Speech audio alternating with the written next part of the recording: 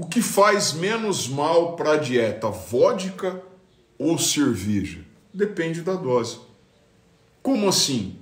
Quer dizer então que eu posso, por exemplo, chegar no final de semana, mesmo fazendo dieta, e tomar uma cervejinha, duas, talvez três long necks, sem chutar o pau da barraca, compensar essa ingestão de calorias ali no meu dia seguinte, por exemplo, sem ter grandes prejuízos? Posso.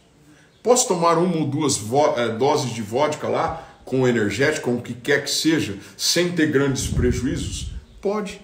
Especialmente se você, por exemplo, não quer ser um atleta competitivo de fisiculturismo.